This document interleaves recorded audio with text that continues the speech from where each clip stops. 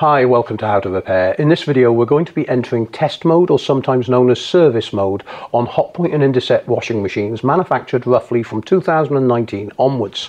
This will apply to many different models of machine. If your display looks similar to this, and you've got different wash functions going all the way around the dial but if you add them up they should come to 16 now I will actually put all the relevant models in the description below that this applies to and I encourage you if you get into test mode please add your model number to the comments below to assist other people in the future.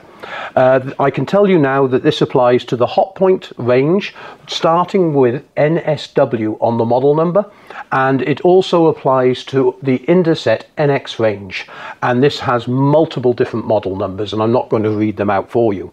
I'm also running a smart meter here so you can actually see what's going on in other words what wattage is being pulled while we go through the test cycle. It takes approximately 10 minutes to go through the test cycle and I'll show you in detail what is actually happening, what components it's testing and also how to diagnose problems with your machine if a part is not working correctly.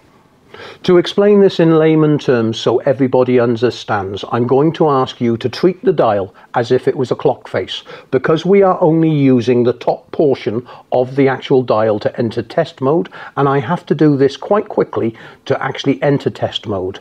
So we'll call the top one 12 o'clock, Eco 4060 1 o'clock, Cotton 2 o'clock and Anti-Stain 40 11 o'clock. That's the easiest way for everyone to understand how to enter test mode. So first, machine off, turn the dial to the mixed wash. Now, you may have to do this a couple of times to try and get into test mode because if you don't do it in the allocated period of time or you make a mistake, it will time out and not allow you to enter test mode. So, 12 o'clock position, turn the power on. As soon as it comes on, turn it to 1, turn it off turn it back to 12, turn it on. Turn it to the 2 o'clock position, turn it off. Turn it back to the 12 o'clock position, turn it on. Turn to the 11 o'clock position, press the start button immediately. SAT will actually show up. A lot of people misinterpret this as SAE. This is the test procedure and the first functionality that actually happens is the actual machine empties and the pump is active to make sure no water is in the machine. The door lock will be energized. And as you see here, if you do have an error on your machine, it will show the last stored error code on this machine. Now this machine, I did a previous video on how to repair an F05 error code, which is the F05 water pipe blockage or pump issue. Sometimes on these machines, by the way, I've put a note in here, it can be to do with a pressure switch because I have seen some engineers say they've had F05 and it was a pressure switch fault, but that is not from the manufacturer, that is just notes from myself.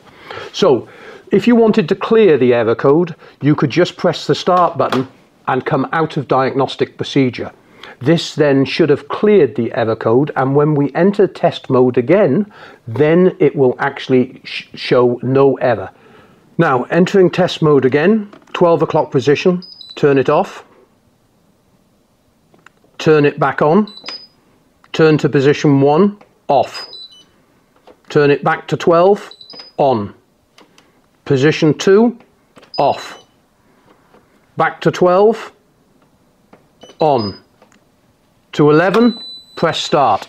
Now there's no water in the machine now, but the machine pump has just kicked in just to check that there's no water in the machine. Sometimes this comes on, sometimes it does not at the beginning of the cycle.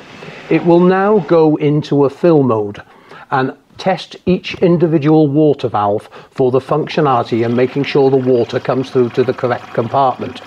I'm actually going to take the drawer out of this machine now to show you where the water is coming from in each compartment. I've actually got the machine perfectly level and the water is set to a set pressure where it's not going to jump out of the machine when I take the soap box out. I'll just film this bit for you. To take the soap box out, do support the front panel and then unclip it from the side, unclip it from there and the whole compartment will come away. Engineers in the field have many years of experience and they're able to determine what's going on with the machine when entering diagnostic mode easily.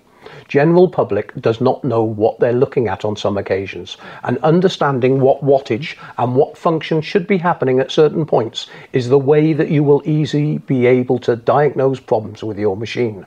So quickly let me explain the wattages that we should be seeing. The control panel when turned on should be drawing around 2 watts of power. The water valves will be drawing about 8 watts of power each. The pump under load will be drawing somewhere in the region of 20 to 25 watts. The heating system, depending on the size of heating system fitted, will be somewhere between 1700 watts and 2 kilowatt. I believe this machine is 1750 or 1800 watt. Um, the motor will pull power depending on the load capacity in the machine and also what RPM state it's trying to get to. The faster it goes, the more wattage it will pull. The heavier the load, the more wattage it will pull. So understanding this is a very important thing when entering diagnostic mode to understand what should be happening. So let's go into diagnostic mode. Dial 12 o'clock, turning it off, making sure it's clear, on. 1 o'clock, off. 12 o'clock, on. 2 o'clock, off. 12 o'clock, on. 11 o'clock, press start. We have now entered diagnostic mode. Opening the soap drawer, which should be there, you're going to be able to see the water coming through on one valve, then the other valve, then both valves together, depending on what, what model of washing machine you have. As the water rises in the machine, this will tell the pressure switch what level of water is in the machine and then will activate the heating system and test the NTC sensor. Then it'll go into other test procedures, which we'll talk about when I've got more time. One water valve has come on, so we have 2 watts of power, plus the 8 watts, we're drawing 10 watts of power. The other water valve will now come on, and it will go back up to 10 watts of power.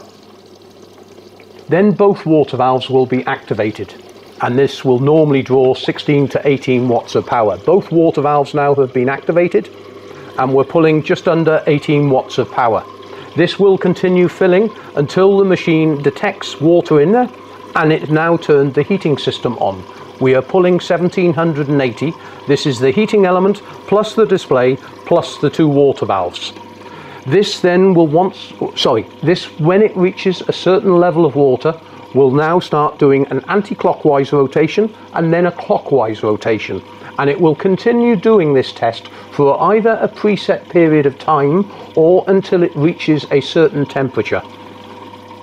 Water level now is just covering the bottom of the drum and we're doing a rough 45 RPM anti-clockwise rotation. The machine stops and then does a clockwise rotation. Heating system still on and now you can see the variant in the wattage being drawn because it's actually turning the drum at 45 RPM. Of course when it goes into a spin speed later it will be pulling more wattage on the motor when it comes to that point. This will continue for about 4 or 5 minutes uh, and then it will go into a motor test sequence. So I've got a little bit of time to talk now. Uh, these machines come in different levels of weight from 7 kilo up to 10 kilo I believe and they all have error codes on them whether they're washer dryers or washers and these error codes are preset. They either are shown in the display with a digital message either F05 which you saw earlier or on some models of machines they use a binary code system where they do not have a digital display.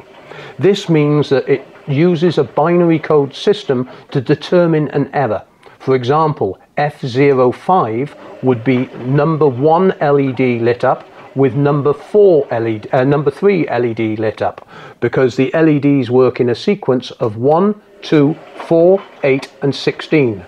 This means that it's adding 1 to the number 1 LED and number 3 LED that's lit up which equals number uh, 4 and it combines those two numbers to determine that the LED value is 5 and therefore it is indicating it is an F05 error.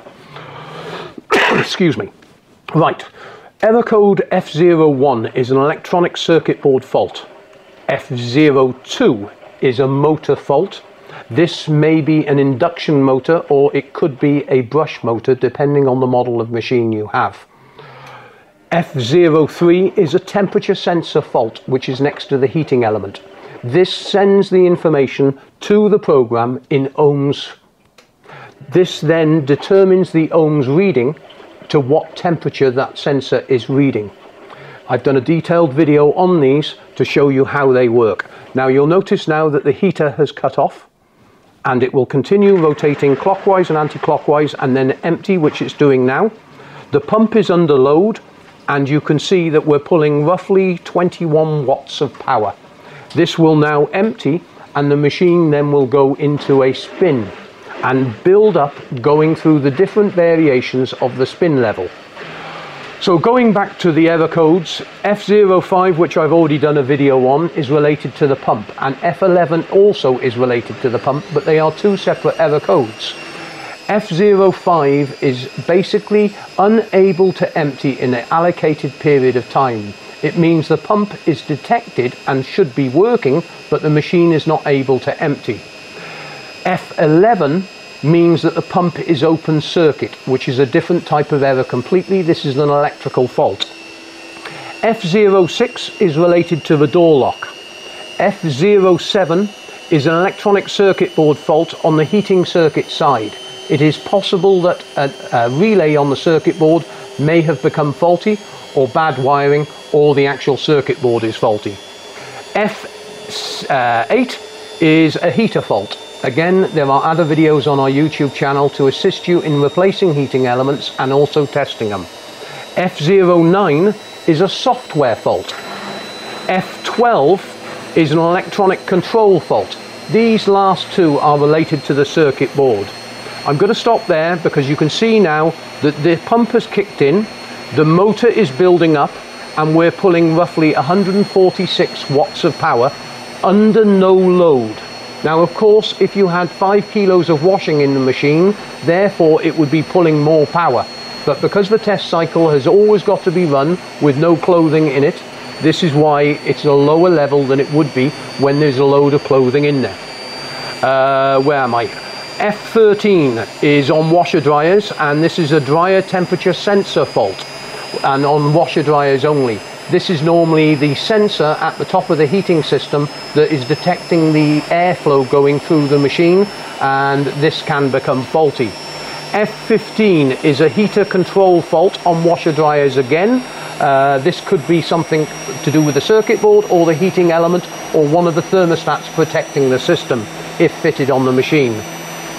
Uh, F16 is a drum lock position it's on the Hotpoint's official website, but this is saying it's for top loaders only. And F18 is an internal data error on the software. That is all the error codes, and I have lots of videos on our YouTube channel to assist you with other error codes and also on how to replace components on the machine. Everything from replacing a door seal, a pump, uh, on certain machines I've done videos on replacing the drum, one of the things I don't like about the Hotpoint and Indesit machines is over the last 10 years now they have been producing sealed drums which I'm really against because that is building in obsolescence on the machine. And it's not only not good for you the consumer it's bad for the environment as well. But other manufacturers now are starting to go back to producing machines which are serviceable which is a good start but this greed that occurs in the world with actually making you, the consumer, buy a new washing machine every four or five years is a bit of a disgrace. It's quite amazing. In the United Kingdom alone, we are consuming three and a half million washing machines a year.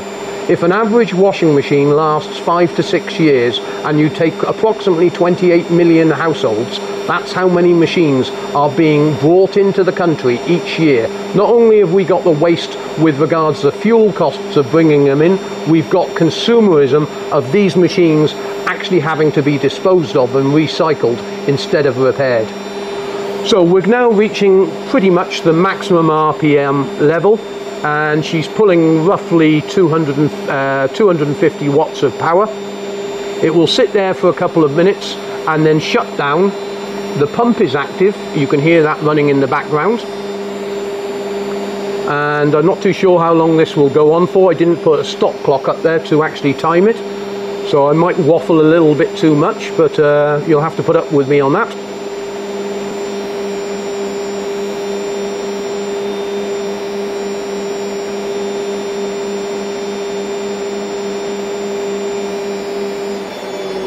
and there you can hear the machine shutting down. The motor has de-energized. This will not stop until the drum has finished rotating. Then it will deactivate the door lock, allowing you to get in the machine and turn the machine off. Usually takes a few seconds.